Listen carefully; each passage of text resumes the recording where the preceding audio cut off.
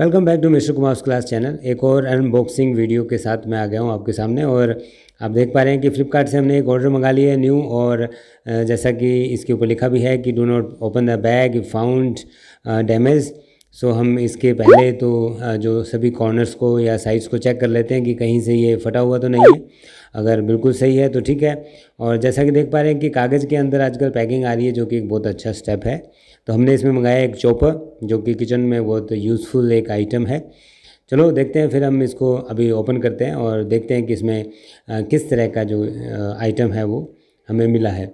तो ये हम ओपन कर रहे हैं और ओपन करने के बाद जो हमें सबसे पहली चीज़ जो इसमें से मिलती है वो एक बिल है और बिल तो ज़रूरी है, इसको संभाल के रख सकते हैं।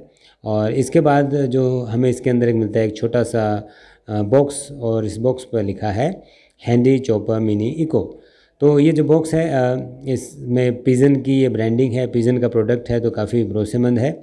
और इसमें देखें तो इसकी जो क्वांटिटी की बात करें तो वो फोर्टी फोर हंड्रेड एम जो है इतने इसकी क्वांटिटी है।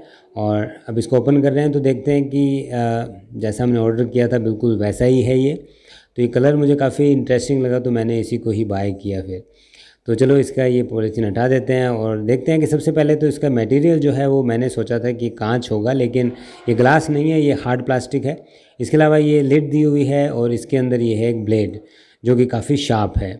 और इसमें बहुत ही सिंपल मैकेनिज़्म का यूज़ हुआ है और इस लिड के अंदर यहाँ एक फ्रेम दिया हुआ है तो इसको इससे अटैच करना होता है और इसके साथ यहाँ पर एक रोप दी होती है जिसको आपको खींचना होता है। तो जैसा पुराने टॉयज़ में होता था, ये एक बटन नहीं है, ये सिर्फ़ एक लोगो ही है ब्रांडिंग नेम है। तो काफ़ी इजी इसकी मैकेनिज़्म है और इसको हम देखेंगे किस तरह से काम करता है और यहाँ पर भी इसके नीचे भी पिज़न की जो एक ब्रांडिंग दी हुई है।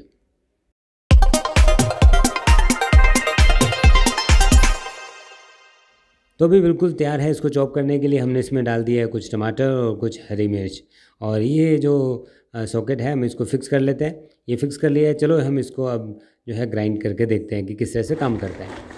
और अभी तीन चार वर्क करने के बाद हम इससे देख रहे हैं कि किस तरह से ये निकलता है।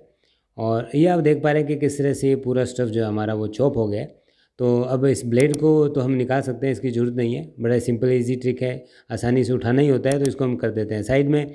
और चम्मच से हम देखते हैं कि इसको इकट्ठा करते हैं तो काफ़ी कलरफुल एक यहाँ पर मटेरियल जो है वो तैयार हो गया है स्टफ़ तैयार हो गया है। तो इस तरह से ये पिज़न का एक ब्रांड जो है काफ़ी इंटरेस्टिंग है और बड़ा काम की चीज़ है, आपको फास्ट वर्क के लिए इंपॉर्टेंट है तो हम कह सकते हैं कि अच्छा प्रोडक्ट है तो आप भी इस प्रोडक्ट के साथ जा सकते हैं। Thank you